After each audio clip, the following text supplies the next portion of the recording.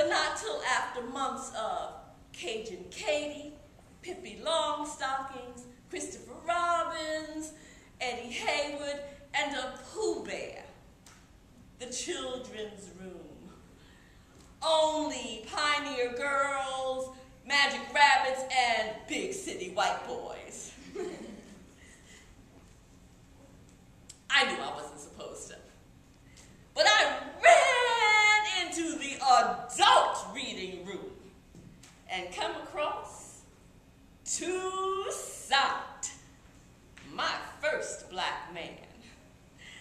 I didn't count George Washington Carver because I didn't like peanuts. Toussaint was a black man, a Negro like my mama say, who refused to be a slave and he spoke French. And he didn't allow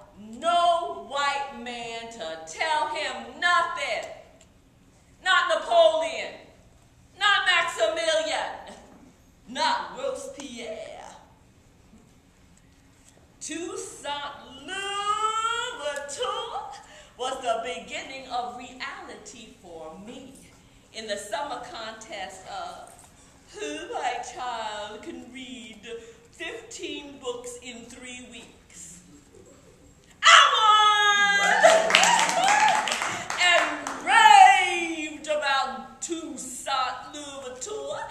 The afternoon ceremony. Was disqualified. Because Toussaint belonged in the adult library.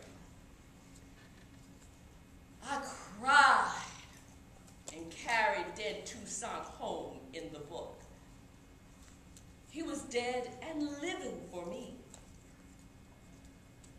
Because Toussaint and them, they held the citadel against the French with the spirits of all dead Africans from out of the ground.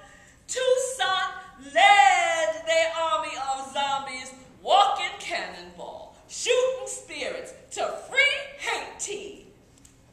And they wasn't slaves no more.